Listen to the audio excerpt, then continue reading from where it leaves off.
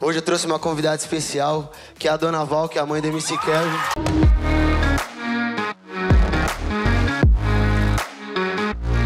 Neste domingo, Dia das Mães, MC Daniel participou do Dança dos Famosos no Domingão do Hulk.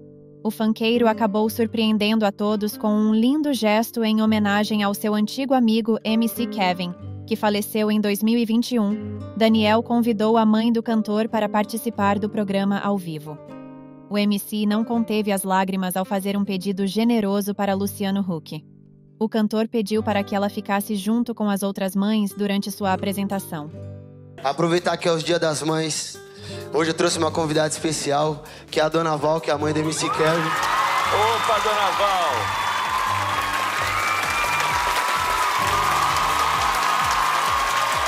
Eu gostaria de perguntar assim.